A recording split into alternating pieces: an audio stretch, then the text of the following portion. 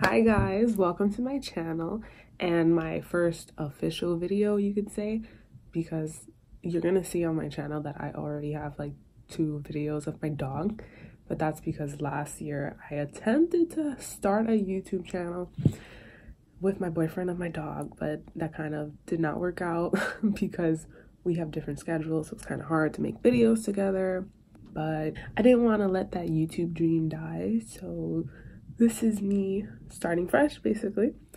And today's video i'm gonna just talk about my start of this weight loss journey that i'm going on.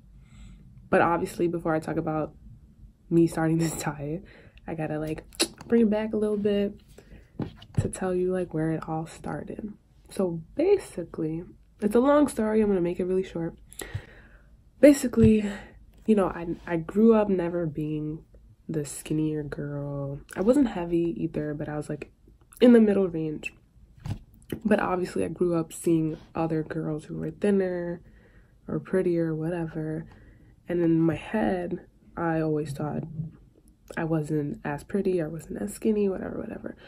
But, you know, in elementary school and middle school, I didn't really focus, focus on my weight I focused more on like my facial features. And in middle school, I got bullied for the way I looked, but never for my weight. So it wasn't like a huge issue that I had until I got to high school. In high school, I went to an all girls high school, first of all, all girls Catholic high school, where majority of the girls were Caucasian because I live in a primarily Caucasian um, neighborhood and my school was in my neighborhood. So I already had that factor. Like I, I was a woman of color.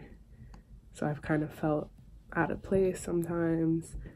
And then I also don't come from like a super wealthy family and these girls were more wealthy. The only reason I got I went to this school was because I received a sponsorship. So my family didn't have to pay as much as everybody else. So we were able to afford it with that sponsorship.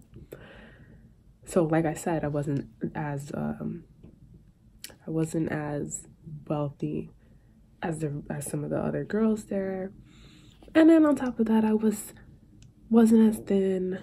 I still didn't think I was as pretty. So I started being a little bit more aware of my weight. Um, also like these girls were getting attention from all the boys from the other schools and I wasn't. Yeah, you know how that goes in high school, you know. You want you want the attention from the boys and we already went to school that didn't have boys. but whatever. Um I ended up getting a boyfriend in high school. Again, I still wasn't as focused on my weight yet. And I wasn't even big. I was probably like a hundred and 20 pounds or something in high school. But my frame is different. Like I'm Hispanic, I have curves, and the other girls didn't. So so obviously they're gonna look thinner when they're not as curvy. and even when I was growing up, I was always like the more developed one. At like at 10 years old, I was already developing, and and the other girls weren't. So and there was always a, a obvious difference between me and my classmates, my schoolmates. So I started working out in high school, but it was because I wanted to fit in my prom dress. It wasn't because I didn't like my body. I just I just wanted to look like mm, in my prom dress for high school. So I got on a diet. I was working out every day after high school. I would get out of school, go work out, and then do my homework. I would work on the weekends, whatever. I lost all this weight. I, don't, I really don't remember how much I weighed, but I I lost weight, but I also was like gaining muscle and toning up and whatnot. So I guess I still was about the same weight, but you know, my body was more toned. So I looked more snatched in that prom dress. Um, then I graduated high school. I, I still had that same figure where I like I felt more comfortable when I was working out. Then I get into college. I didn't feel insecure in college at all because, you know, it's like a, a melting pot in college. You have people from all over the world going to your school. You got all races, all sizes. Wealth, income wasn't like a thing. Nobody looked down on you because you didn't have the best clothes or you weren't the skinniest, you weren't the prettiest, whatever, whatever. I actually I got a lot of attention from guys in college, which so that like built up my uh self-esteem. And then I had I wasn't looking at other girls like they look better than me. College is just like a whole new world. But then I would say like around like sophomore year, I started having um problems in my relationship at the time. Probably before that, but I just didn't want to see it that way. I don't know. I guess I was lying to myself. Anyways, but I started to realize it. And that's where I guess I started losing myself. So I started not to like myself and like who I was in that relationship. And, you know, I'm not going to give you the details of the relationship, but basically, it wasn't working out, and I didn't feel like I was important enough or good enough or whatever. Um, so that relationship started to crumble and it ended up crumbling completely my junior year of college. I mean, I, I was okay because for for a long time I already wasn't like emotionally invested in that relationship anymore. But then when when we finally broke up, I kind of was in this vulnerable state and I felt like people took advantage of that vulnerability. And it was just there was just a lot of things emotionally going on. This was in 2016 actually. In the beginning of 2016 and then towards the end of 2016 is when i started dating my current boyfriend. So in that whole like span of that year there was just a whole lot of emotions. Relationships just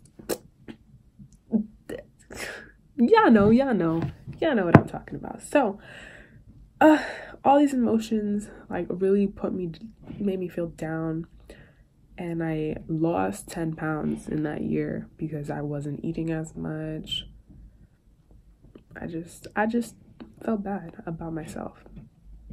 And then I started dating my new boyfriend, and I'm not gonna lie, like, that was a super, super rough start in our relationship. And I know you're probably thinking, like, oh, if it was rough, then why'd you continue that? It's a little complicated because I've known my boyfriend, we've been dating for three years, but I've known him since 2005 because we went to middle school together and we were like super close friends. So it's kind of hard to just be like, all right, bye, I'm cutting you off. No. so then I'm cutting off all those years of friendship and whatever. And I can't blame him completely for it being rocky because he's a guy, first of all. Second of all, um, we were friends first, so we had this friendship where you know we would cut jokes on each other and not take it to heart and whatnot. But then when we started dating, you know, not officially like just going on dates, whatever. It's like a switch flipped in my head that was like, okay, I can't act like just your friend now and cut on you and make fun of you and do all this thing. I mean, I can, but to a certain extent, where for him, I felt like it wasn't really like that. Like he still acted like we were just friends and would say things that bothered me that I felt like a boyfriend shouldn't say. That was in the beginning though. He's way better now. so I let all those things that he was saying affect me. And, you know, other things were involved in that also, not just things he was saying, you know, things he was doing. So that stuff affected me. And, you know, I was still dealing with all the drama that happened with my last relationship and everything in between with other people. And I'd say, like, I'm gonna show you a picture of how I looked in Christmas 2016. I was still pretty thin from thin for my body type. And then the, when the new year started, that's when I feel like I really started gaining weight. Like I would just seek food to fill these voids I had. When I was sad, I would I would cry, but I would eat. and when I was mad, I would eat. It was just a cycle, a cycle of eating. Yes, don't get me wrong, I'm Hispanic. I love me my food. I love to go out to eat with my boyfriend, with my family, and my friends. But it was more than that. It was like, yeah, I would go eat my meals, but then I would go sneak or in the middle, not the middle of the night, but like at, at midnight, I would go. It's so bad. I would literally go to the kitchen, eat a few chips, eat like a snack bar, eat some cookies, eat a jello, like eat all these things, all these snacks in one sitting. Which I know is obviously wasn't good for me, but that's I guess that's just how I would handle my situations. So I started gaining this weight and um I wasn't too too bad. Like I probably gained I probably started out like that Christmas picture, I probably probably weighed like 135 pounds, 140, give or take, 135 probably. And then I gained, I went up to probably like 150 in that next year, that 2017. And then it didn't get better because people were, people started telling me, people in my family started telling me how I was gaining weight. Somebody actually called me fat and said comments that really hurt me. So then, you know, you you don't want to hear that from the people who are supposed to have your back. So it just made me eat more and then it got to a point like, well, it doesn't matter. People are viewing me this way anyways. So what does it matter that I keep on eating and that I keep on gaining weight? I don't need to love myself and I and people don't need to love the way I look.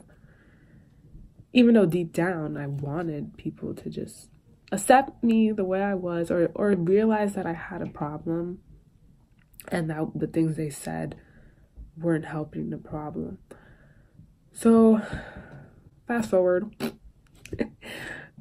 I went from 2016 being like 135 pounds ish to 2019, I went to the doctor in the beginning of 2019 and I weighed 171 pounds. So I was overweight, super overweight. I was literally borderline obese by like 0. 0.1 0.1 borderline obesity.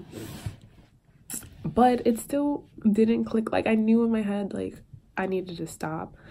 But again, like I like I said earlier, I had all these emotions and I was turning to food for to cope with and people around me still were not helping or things weren't clicking and I was having drama like other drama too, not just with my boyfriend, but like family drama, um school drama because after I graduated college, it was like I didn't know what I wanted to do with my life. Like I just went to school for four years and got a bachelor's in biology, and I didn't know what the heck to do with it because I thought I wanted to do A, but then when I finished, it was like, but I want to do A, B, C, D. Like I was I was completely lost basically, and it was really frustrating me that I couldn't figure out what I wanted to do in life. And then I had my family like put kind of pressure on me, like telling me, well, like you need to figure it out, you need to figure it out. I mean, now they finally understand like it's it's not always that easy to pick to settle on one thing that you want to do. So I was stressed out about that. And I felt like I wasted my time in school and I'm wasting my life away even though I'm young. All these things, all these things were putting all this stress on me. I also had gotten a puppy, as you can see, my little baby Jax. Well, when he was a puppy, I was super stressed out. It was my first time actually like really, really taking care of uh, a dog, and he was a baby on top of that. So I had to train him. He was making messes all the time. Um, I didn't have I didn't really have money to fully support him. Even though I split the cost with my boyfriend, but like my portion that I had to pay my portion that I had to pay I couldn't always meet it. Like I would meet it. Obviously, I wasn't like negligent towards him, but it caused stress. Like how am I to afford a dog and and all my credit card bills and all of this other stuff. And i was taking online classes like how am i going to pay for these classes? Whatever whatnot. You get the point. I was stressed. So yeah um, 2019 i weigh 171 pounds. I'm still stressing out. I'm still eating even though the doctor my doctor even asked me if I wanted to go to a nutritionist, and I was too embarrassed that I just said no. Like, I know I just need to eat less. Then in August of this year, I went on a family vacation. Obviously, you're gonna eat a lot on vacation, but I didn't, I felt like I was eating the same amount that I do at home, which, like you heard me say, was a lot of snacking. Not good, not good. So when I came back from vacation and I was looking at the photos, and I'm gonna throw one up right here, I finally saw like how big I had gotten compared to like what three years ago. You shouldn't even be gaining that much weight in three years. And I gained a lot of weight. When I came back from vacation, I weighed around 178 pounds. So that's when it kind of hit me. It, it hit me.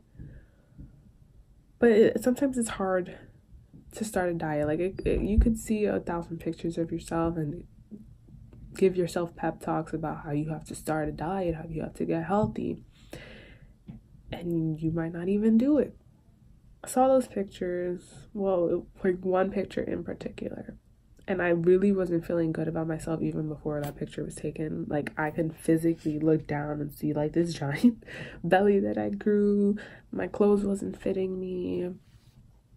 Like everything was tight. I mean, I wear stretchy material, like form-fitting material most of the time anyways, but now it just looks super tight. It looks like I'm gonna bust out of there like a I'm like a can of biscuits. So after I saw those numbers on the scale after vacation, I said I need to just start doing something.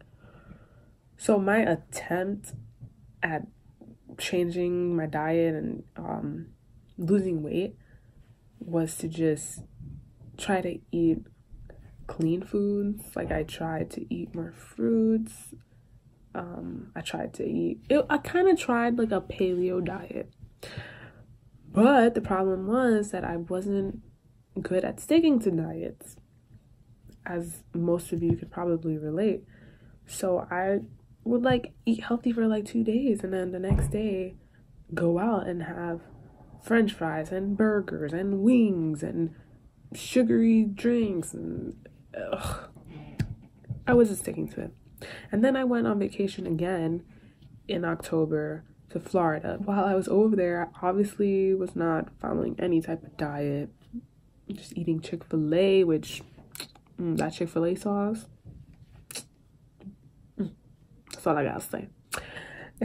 Anyways, I came home from that vacation still eating the same habits. Then November comes around and I jump on the scale. And the scale says 184.4.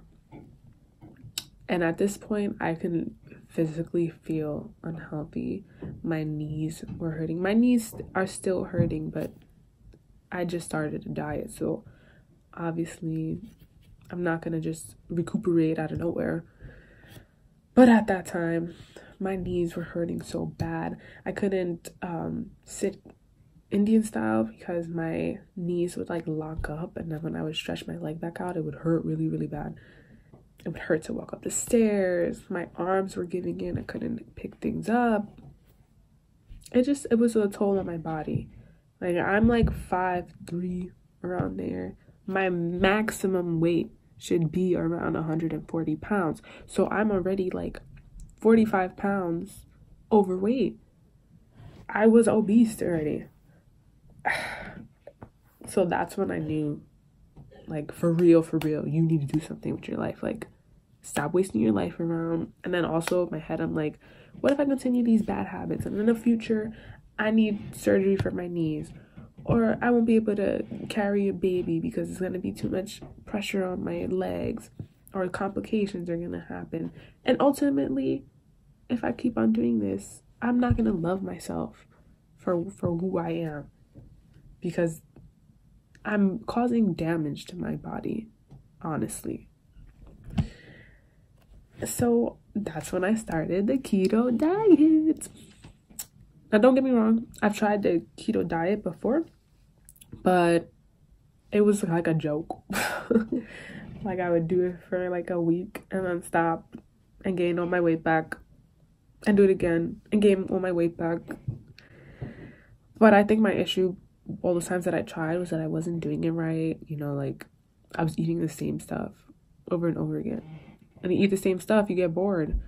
Now I've been doing keto for like three weeks and I try to come up with new recipes or like take a recipe that I would eat if I wasn't on a diet and find a way to make it keto. So, yeah, I've been doing that for three weeks and I weighed myself on Thursday this Thursday that just passed. And I lost 11.2 pounds in those three weeks. So now I am 173.2, I believe. Mind you, within those three weeks, I had a bunch of cheat days because I went to a wedding. It was Thanksgiving. I know I started to die before Thanksgiving. Like, what? it was my dad's birthday. It was my mom's birthday. My sister's birthday is coming up. It was just a bunch of cheat days. But um, my thing is that when when I have a cheat day now, the next day I like I don't cheat again. You know, sometimes you you cheat and then you have a craving, the crave the same cravings the next day. Um, me is just I have this mindset now that like I have to get healthier. I have to lose weight for my body's sake. So I just automatically go back to the keto diet. So, so yeah, that is my video for the day about like a short version of my weight loss journey. Um, obviously, I'm gonna make more videos about me continuing continuing in this journey. I want to make like recipe videos for people out there like me who get tired of eating the same thing. Like, I don't want to eat eggs all the time. So, yeah, that's my video. Um, I really hope that you guys liked it and I hope that you can relate to the things I said. I know I didn't get super detailed. Maybe in another video I will because there's a lot more. There was a lot of like cause and effect with all the things that I was dealing with. Anyways, subscribe if you liked and stay tuned for the rest of the videos that I'm going to post. I don't know like a video schedule yet. I'll try to do once a week at least. Like obviously at least once a week. Like who you playing? Like um and just a heads up, like this channel is not gonna be like solely about um my keto journey because there's so many things that I want to do and there's so many things that I'm into like for example like makeup art um I love to bake I have like a side business doing that. I love shopping I love my dog I, it's a bunch of things. Thanks for watching and I'll see you next time. Bye